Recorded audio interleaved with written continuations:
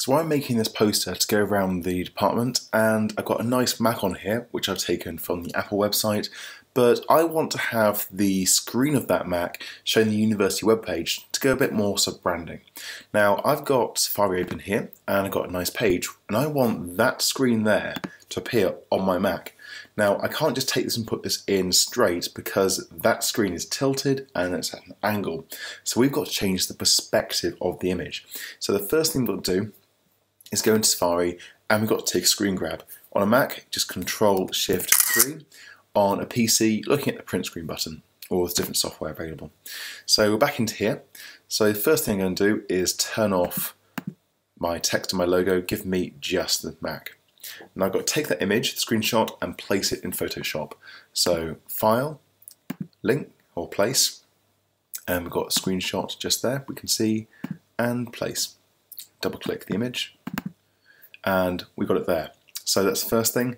Now we just got to resize it. So Control T, hold down Shift, left mouse button, click and drag. Now here we want to get this roughly the right size. So put it over the screen and go roughly the same size. Now it's not an exact science here. You can go anything you like.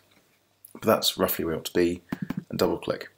The reason why we do it slightly bigger is that when you've got files within Photoshop and you downsize them to make them smaller, then Photoshop can throw away the pixels it doesn't need. So you don't want to throw away too many pixels, keeping it as big as possible is the best way. So let's get into warping this to make it fit that screen. So let's just zoom in a little bit. The tool we need is called Perspective Warp. So edit, Perspective Warp. Now this is with the screenshot selected. Now what we do then is we need to draw a rectangle. Let's start off just going roughly the right size. Now I'm going to zoom in, go to the corners and make sure this is exact. This part here is not so important because if you don't get it exactly in the corners, the whole uh, image will still warp completely fine as a whole but I find if you go exactly to the corners, it makes it slightly easier to go exactly where you want it to be. So let's go to the final corner here, move him around.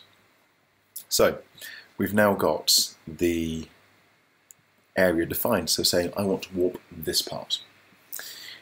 At the top left here, we now have to select warp. And what this does, is it changes the tool from being one where you say warp this, say actually do this warp.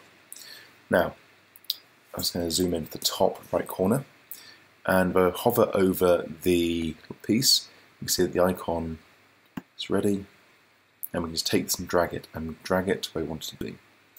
Now again, I'm going to do this roughly, so take it to there, left click and drag this roughly to the right area of the screen, take this and drag it to the area of the screen.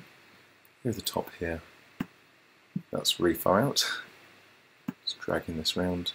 About there. So if I zoom out, you can see that the image has completely gone um, warping. Now to make this exact, just sort of zoom in to the corner and we can go, yeah, that is exact. Leaving a little bit of dither around the edge. Let's go again to here.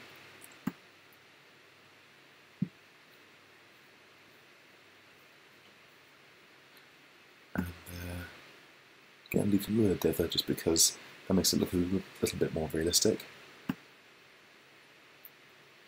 Okay, so we've now placed it exactly over where it was before. And click OK. So we've now taken it and added a perspective, but there's one more thing to do. Because if we zoom into the image and get down really close, we can see that this image is a little bit grainy. It's not really clean and sharp. However, our screen is very clean and sharp. So we need to make the just downgrade the quality of our screen to make it look a little bit more realistic. So we can go filter, blur, Gaussian blur. Now what this does, it just blurs the image in certain ways. Now we can go really blurred, it almost disappears. So we don't want very much, we only want a small amount. Now, if you have the preview turned on, you can see it changing. So I'm going to just zoom in and go to a corner here so I can see the quality of the screen around. So just taking this, add some blur. How much blur do we need to match that? A little bit more. Oh, sorry, turn the preview on. My mistake. It's a rookie error. So that looks a little bit too much blur. Take it down to, let's say, 1.5. That looks about right. So if I zoom out and click OK, there's not a massive difference. What you do is by blurring the image slightly, it looks like it actually is a part of the original image. So zoom out, and I can turn my text back on, turn my logo back on, and now I've applied my image onto the screen. So we've gone from one which is generic and one which is from Apple onto one exactly about our apartment. Now you can use this for lots of different ways and different um, uh, things you're creating, but that's how to use Perspective Warp in Adobe Photoshop.